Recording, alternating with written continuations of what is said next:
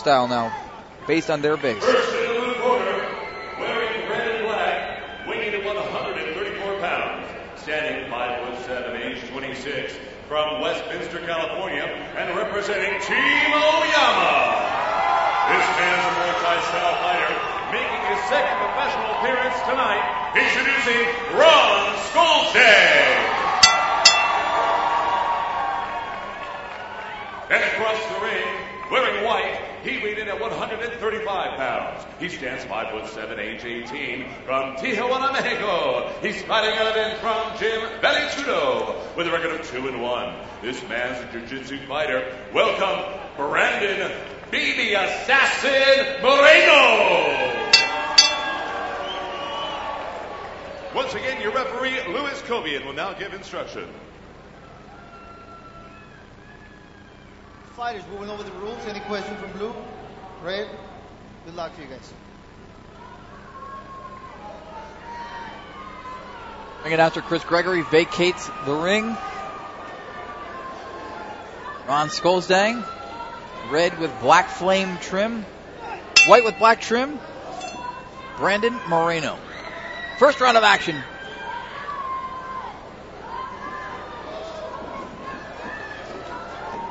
Moreno on a quick double leg.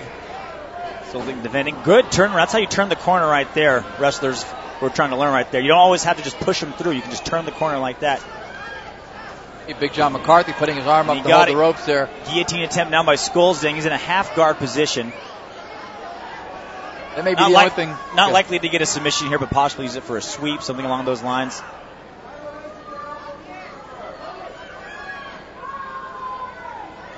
Scolesdang looks, he looks poised. He looks comfortable. And Moreno happy to kind of wait for his position. Again, with with only three minute rounds, you know, one takedown in position for a little bit of time, and that can win you the round. So Scolesdang needs to really start moving if he wants to uh, start impressing the judges. He doesn't have much time to do it. Scolesdang with the Muay Thai shorts and Scolesdang also the one who touts a Muay Thai background. Now being forced to work off of his back, we'll see if he has a guard game. Moreno's going to test that. And most of those Kono Oyama guys, oh, armbar attempt here. Yeah, you, you can't come in with Giva Santana and not have some kind of a familiarity with an armbar. Yeah, uh, there's, I don't think there's any doubt that uh, Scolesdang's been caught in that famous arm collector armbar by Santana multiple times in practice.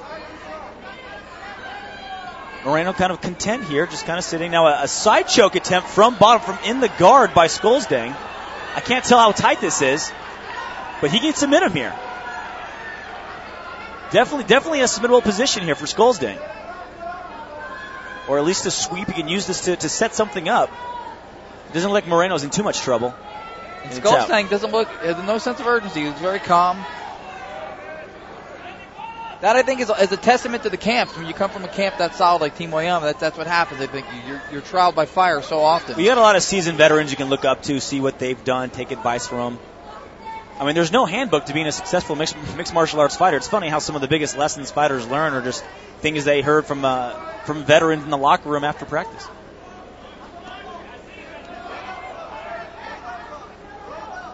Our first round scheduled for three. 134 pound contest. Finally, a little aggression here from Moreno. Skulling up to his knees, going for a switch here. And a front flip by Moreno on Scolesdang. North south position for Moreno.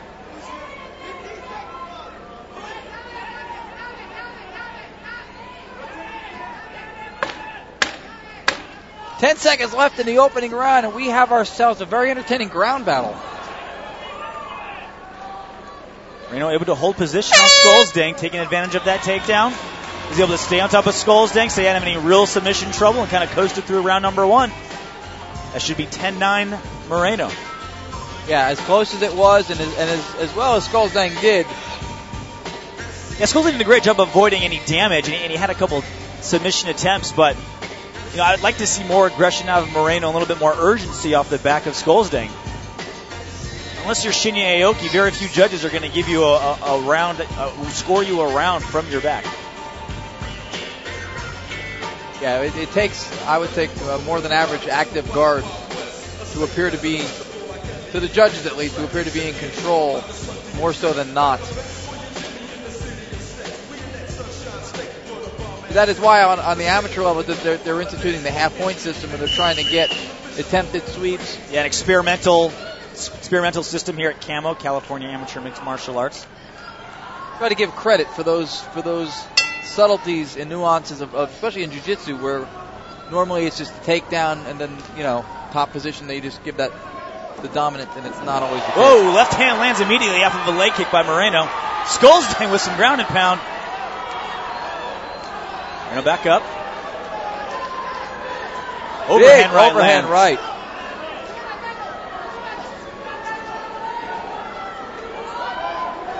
Moreno with a, an air of confidence that almost exceeds the level of achievement in this fight so far, but he is very confident. You got to have a swagger, right? If you're going to be a fighter, you got to have a swagger. You got to walk in like you own the place. R.J. Clifford with color commentary and hip hop lyrics. Rare to see that combination at the table. No, don't count on it too often. Second round of action. Moreno pushing the pace a little bit, and it looks like Scolesdang, as, as well as he did on, on the ground, he didn't get submitted, obviously. He looks like he, he, was trying to stay on his feet now. Yeah, absolutely. I think there's, there's no question here that Moreno wants this fight on the ground, and Scolesdang wants to standing up. For the record, Moreno, 18 years of age. You can tell he's young. His man strength hasn't quite come in yet. Does look young, but he's he's very good at 18. Scolesdang is winding up that uppercut all the way from like his butt cheeks all the way up to the head of Moreno. Scolesdang, the older of the two, at 26. Really attacked by Moreno, oh. unsuccessful. Looking for an uppercut. Scolesdang backs up, wants Moreno back up. Moreno was bringing a crab trap there going to get Scolesdang to the ground. He's going to have to earn it. Scolesdang is just loading up that left hand. Yeah, look at it. For uppercuts and straight lefts. There it is. Whoa! Whoa he dizzy Moreno there. Scolesdang goes in for the kill. He was waiting for that moment. Now Scolesdang is going to look to take Moreno out of this before the time clock gives him another round. Moreno hanging on to save himself.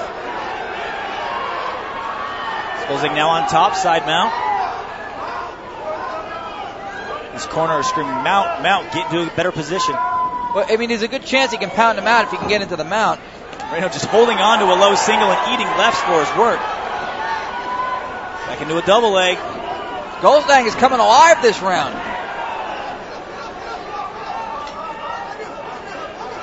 Should be a takedown. He's got those legs wrapped up. Like not going down easily, building back up.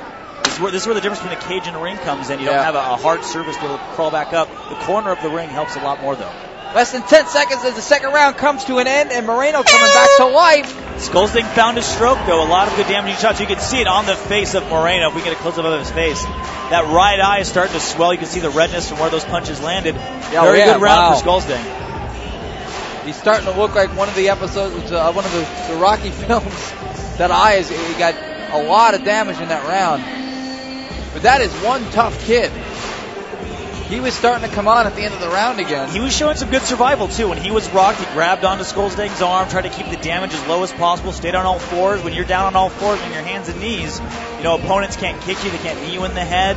Uh, it's a lot harder to get strikes in because back of the head is illegal. It's one of those weird positions in mixed martial arts where I wish there would be knees to the ground of, of a grounded opponent, knees to the head of a grounded opponent, so you don't kind of have these safe zones where fighters can kind of hide in you have, you know, if you open up more offense for the attacking fighter, it makes the fights a lot more exciting. But you take advantage of the rules you have, and Moreno did survive that second round. Right, that is what the clinch in boxing is too. They tie up, becomes like a hug, and then nothing happens. Third and final round, and that eye is absolutely swelling up. And targeting it immediately lands. is Scolesdang. Scolesdang eats Jab a shot. by Moreno. Why do I get the feeling that jiu-jitsu is out of the question in this round? I think Moreno wants to Moreno wants to use it, but he doesn't know how to get it down. He's throwing some good strikes of his own right now. Well, being calm though. He's kind of waiting for a wild shot so we can fire that straight left or that uppercut. And that left hand might even be easier to get to the target now if that vision's at all impaired on that side. The right eye of Moreno. Moreno in the white, Scolesdang in the black trimmed red shorts. And he's really starting to do some work on that head. Another uppercut by Scolesdang. Whoa! Big left hook by Scolesdang. Body shot. Body shot rocks Moreno. Wobbles him a little bit. Good scrabble. See Moreno diving for those legs. Scolesdang wise to it. Mouthpiece out. Good job by the referee. That was a clean break in the action. The way Moreno's holding that mouthpiece in his mouth, though, it's bound to happen. Mouth wide open, kind of letting that mouthpiece be loose in his mouth. He's breathing a little bit heavy. That's what's, that's what's going to happen. If it happens more times, the referee can start taking points away. See right there, Moreno landed a shot on, on chin, but he was kind of pushing his shot. He may have been able to do some damage if he had actually launched it. Moreno's the one pushing forward here. Scolesdang's kind of patiently waiting to land his strike. Yeah, if he sits back and admires his work on that eye too long, the round's going to end.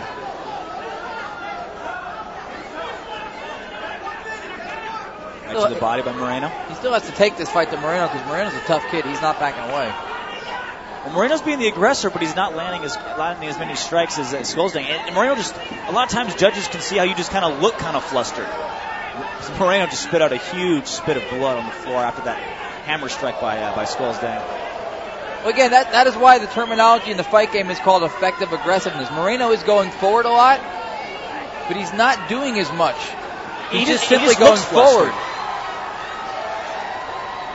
Another left hand lands by Scolesdang. Whoa, he is Whoa!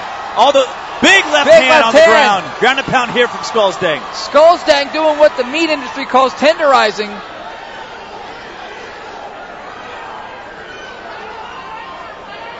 Scolesdang not overly aggressive. There's no no uh, no hurry to dive in the guard. Moreno Whoa! right hook lands. Wow, right hand, left hand combination by Scolesdang, and Moreno still shooting in for something.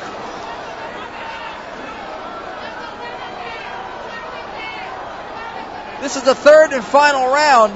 Both guys fighting like they need the round. Moreno just looks to be the more exhausted. Scolesdang just fighting to hang on. I mean, he's shooting desperate shots, holding on to the glove. Scolesdang in complete control, lands little ground and pound. So we can do here in the last few seconds. And that's it. Great round for the bantamweights. Great round for Scolesdang. And a bow right there, folks. Watching this thing right now on SureDog.com. That is the reason why anybody who tells you that this sport is brutal or something wrong with it shouldn't be talking. More honor and respect in this sport than you'll see almost anywhere else.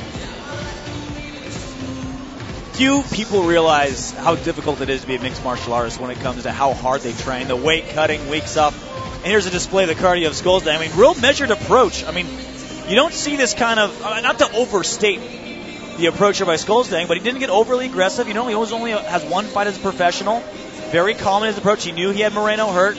Maybe a little bit more aggression, trying to put him away, but he knew that Moreno wanted to fight on the ground, wanted to lure Scolesdang into his guard. Scolesdang was, was happy and content to keep his own pace. There was an air of, of cockiness and confidence from Moreno in the first round that seemed to dissipate in the second.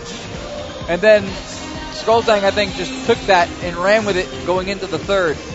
But make no mistake about it, Moreno at 18 years of age, you see with that eye, that kid's tough. That is something anybody in the fight game for any amount of time knows. You can't teach that kind of heart. Nope. That kid's just tough. Yeah, he, he hung on there, and you know what? He, he knew how to survive too.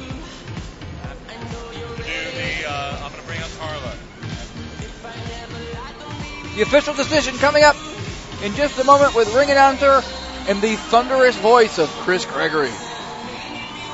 You're watching Pandemonium 6. We're in Riverside at the Riverside Convention Center here in Southern California. A full night of combat sports, and here is, once again, the very classy, very thunderous voice, Chris Gregory.